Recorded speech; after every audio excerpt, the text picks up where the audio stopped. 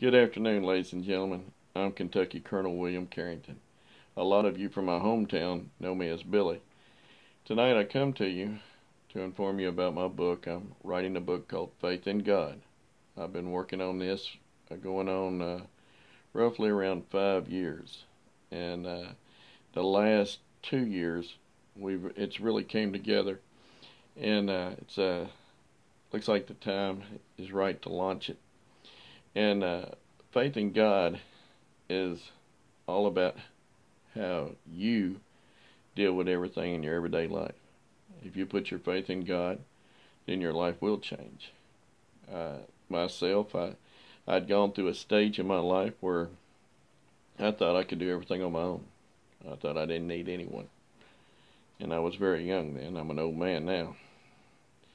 But it wasn't long and I realized I tell people I'd gotten down in a ditch and I just uh, didn't have nowhere to go. But it, I wasn't in the, actually a ditch yet. I still had a long ways to fall to get to the bottom. And I never went that far. I just turned around and one day and I said, God, I, I need you. I can't do this without you. And I raised my hand up and I said, please take me. Forgive me.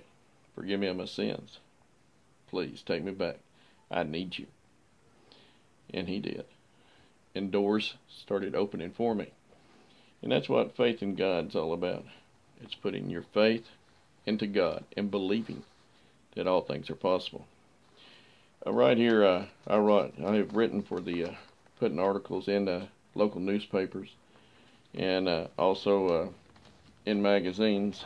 I've had my writings in magazines, and uh, this is all about when people, even ourselves, when we get caught up in our everyday life, it seems like it's all caving in on us. We have nowhere to turn to. And uh, that's what this book will help you. Just like the Bible. Yeah, turn to it, read it, study it daily. And you'll learn and you'll come closer to God. And it will change your life like it did mine. This is a cover, what the covers, this is not the final, this is not the final uh, draw, I guess it's not the finalized of the copy of the cover, what it's going to look like, but it's going to be something similar to that. And uh, as you can see, uh, God, uh, God is everything, so that's why it's got the uh, stars and everything up above it. And uh, Jesus Christ is the living water, and that's what the water's for. And uh, you, there's some footsteps down there at the bottom. I don't know if you can see it in the frame, but as footsteps indicate, He's always walking with you. You're never alone. And I, I don't know if you can see, there's three keys in there. And the three keys are the Father, Son, and Holy Spirit. That's like the three ones. That's what the ones stand for. And uh, I may add one more one, so it'll be four ones, because it'll be the Father, the Son, the Holy Spirit, and in creation. And as you can tell, it's a mastering the keys of life. So this here, like I say, it's it's not about me. It's how you go through and your and how you set your mind, your mindset to where you can deal with everyday everyday issues. Whether it's something with your family, something at work, maybe it's something you're you're wanting in the future, a direction you're wanting to go. The very first writing I done in Faith in God, this is the very first one that went out in the newspaper.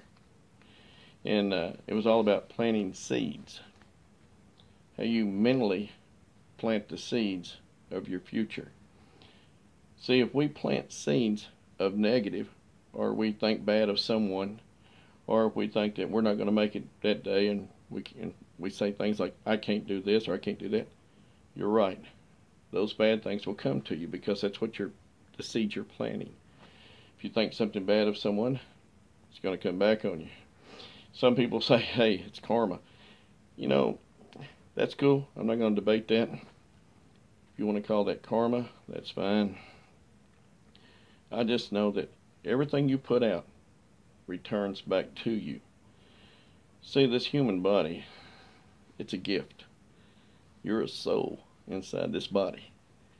And uh, once this body's done, and it's got a expiration date on it, I believe it's somewhere between uh, now in our lifetime, I believe it's between 80 to 120 years. life expectancy on this body. Depends on how good you take care of it and what accidents you're you involved in in a lifetime. So, uh, if you take good care of it, avoid accidents, you may be able to get that 120 plus out of it. And also make sure you eat right. Uh, get you a diet, plan you a really good diet, and go through it. Learn how to feed the body, to feed the mind, to feed your spirit, and your life will be fulfilled. You know, I, it depends on what you're looking for. I know that this book, it's going to be released, Faith in God. I've done a lot of research, and I have a team that's been working with me. And I got a young lady, and soon I will let her name be mentioned. But she has done so much and done a lot of research to bring faith in God alive. And like I say, we're all excited, and I really do think that uh, that it'll be well well uh, what's the word? It's kind of like well taken, but well appreciated, maybe. Uh, like I say, it's been like a child to me, so I've been kind of afraid to turn it loose yet. And I never claimed to be a writer.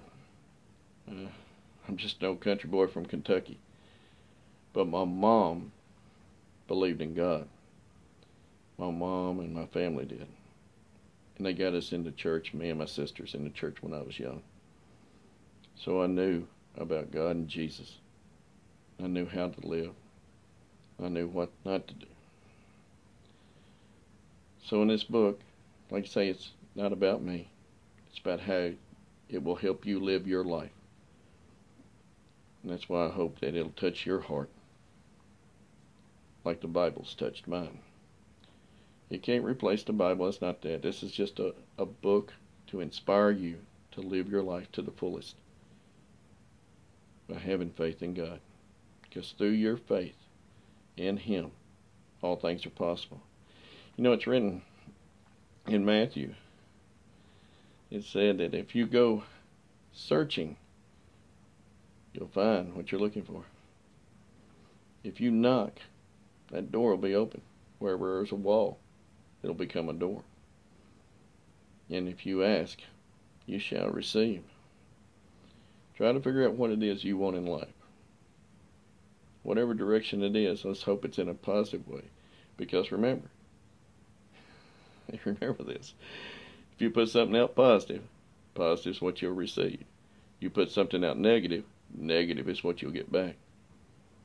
Try to make you a vision for every day, how you want to live your life. Take that vision, plan out your day, let that become your mission in life, and live a great, healthy life. Like I say, I hope you like the book when it comes out. We're going to try to have it out, or I'm going to try to have it out on the market by the Christmas sales. It's my first book, and I'd say I'm probably going to have a lot of critics. Well, I'm ready for that. But I got a great team that's working behind me. And there's many more books to come. I'm looking to hopefully have, I got 10 that I want to do. And all of them's going to be basically about the same, in the same direction. And they're all about inspiring other people to come closer to God. Ladies and gentlemen, thank you for your time. Your time is so valuable because that's one thing that cannot be replaced. It's time. It's very expensive because you never get it back. Thank you again. God bless you and your families, and I hope you're able to get out and get the book this coming uh, Christmas and enjoy it with your family. Thank you. God bless you.